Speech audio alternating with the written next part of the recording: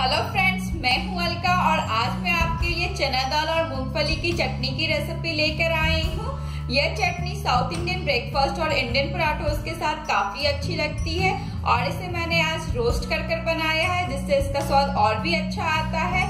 अगर आपको मेरी चटनी की रेसिपी अच्छी लगे तो आप मेरे चैनल को सब्सक्राइब करें लाइक करें एंड शेयर करें। एंड कमेंट बॉक्स में ज़रूर लिख कर बताएँ कि आपको मेरी रेसिपी कैसी लगी है। तो चलिए चटनी बनाना स्टार्ट करते हैं।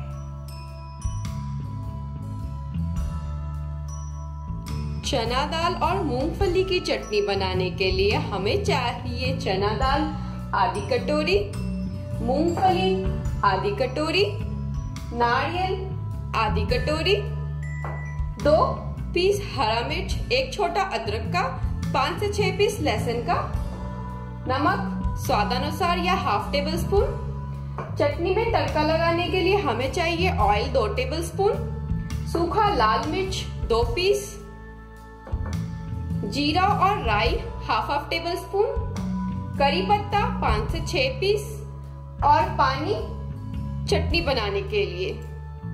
गैस ऑन करेंगे और एक कढ़ाई चलाएँगे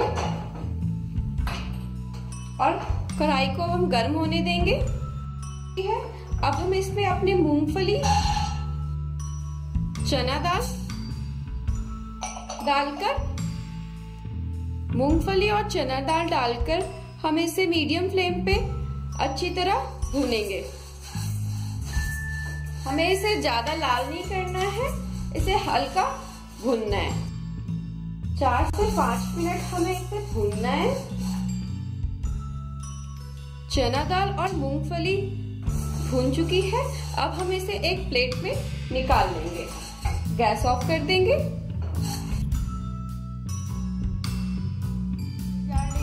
और इसमें अपनी भुना हुआ चना दाल और मूंग डाल देंगे। कटा हुआ नारियल, लहसुन, मिर्च और अदरक नमक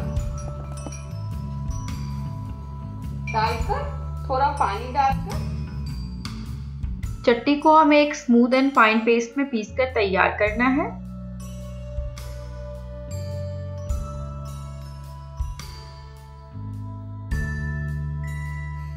चटनी इसका तैयार है। अब इसे हम एक बॉल में निकाल लेंगे। चटनी को हमने सर्विंग बॉल में निकाल लिया है और अब इसके लिए तड़का रेडी करेंगे। गैस ऑन करेंगे। तड़का पैन चढ़ाएँगे और इसे गर्म होने देंगे।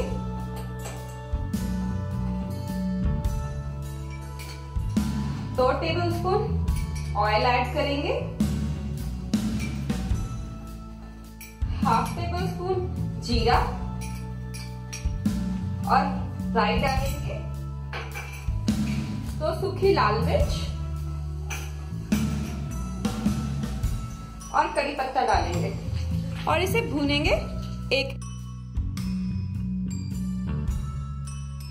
भून चुकी है, गैस ऑफ़ कर देंगे।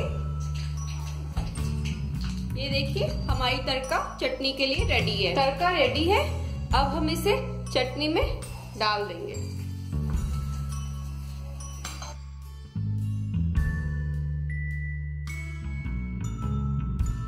ये हमारी चना और मूंग फली की चटनी रेडी है। आप इसे डोसा, इडली, उत्तपम, वड़ा के साथ खा सकते हैं।